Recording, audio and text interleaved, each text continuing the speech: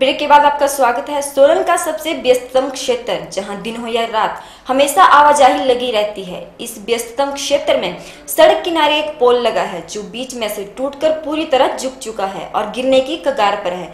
अगर यह अचानक गिरता है तो एक बड़े हादसे का कारण बन सकता है। सभी अधिकारी और कर्मचारी इस माल रोड से होकर गुजरते हैं, लेकिन शायद उनकी नज़र इस पर नहीं पड़ी है, या फिर काम से बचने के लिए वह जानबूझकर इसे नजरअंदाज कर रहे हैं।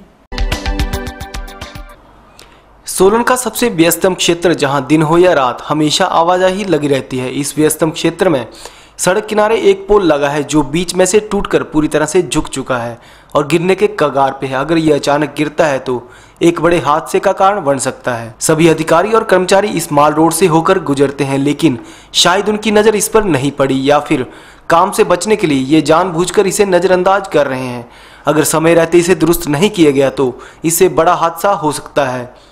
शहरवासियों ने गिरते पोल पर रोष व्यक्त करते हुए कहा कि उनके द्वारा कई बार विभाग को सूचित किया गया है, लेकिन कोई भी कार्रवाई अमल में नहीं लाई गई है।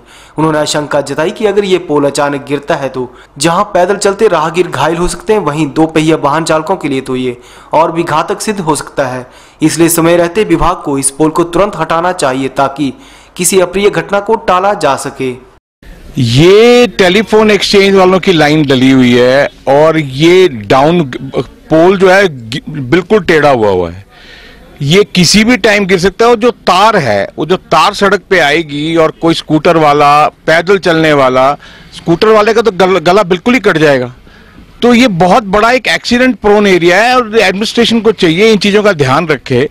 अगर वो किसी से खंबा टेढ़ा है तो उसकी मेंटेनेंस होनी बहुत ज़रूरी है। अगर आप मेंटेनेंस नहीं करेंगे तो you are asking for trouble को, कोई ना कोई एक्सीडेंट हो सकता है कोई दुर्घटना हो सकती है और किसी की जान जा सकती है। माल रोड के ऊपर एक बिजली का पोल लगा हुआ है जो कि बिल्कुल ऊपर से टूट चुका है। पब्लिकली सबको दिख रहा है अधिकारी को भी दिख रहा है लेकिन इसके ऊपर कोई भी एक्शन नहीं लिया जा रहा है।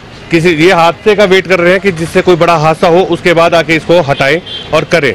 मेरी जनता और की तरफ़ से दरखास्त है कि इसको जल्द से जल्द हटाया जाए और या इसको ठीक किया जाए। जो प्रशासन जो अभी तक सोया हुआ है, हम उनसे गुजारिश करते हैं कि किसी हादसे का इंतज़ार ना करें, क्योंकि ये एक इतना लटक चुका है, टूटा हुआ है। कभी भी इससे हादसा हो सकता है, इसलिए पब्लिक को भी नुकसान हो सकता है। तो जनता की यही गुजारिश है कि ये जल्द से जल्द पोल को ठीक किया जाए। तो ये था आज दिन भर का कार्यक्रम। कल फिर हाजिर होंगे इन्हीं गतिविधियों के साथ। आप ऐसे ही जुड़े रहिए एच टू डे के साथ। नमस्कार।